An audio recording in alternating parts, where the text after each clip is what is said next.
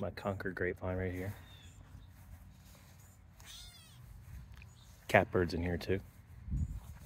Another one yelling at me. But um, see all those greens? Look, there he is. I can follow. Anyways, see all those little green grapes going? Turn purple when they're ripe. Sure yet we're gonna make out of them, but I better pick them.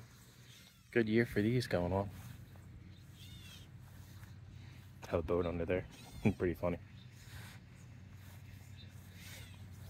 In case we get any uh, floods. Not really.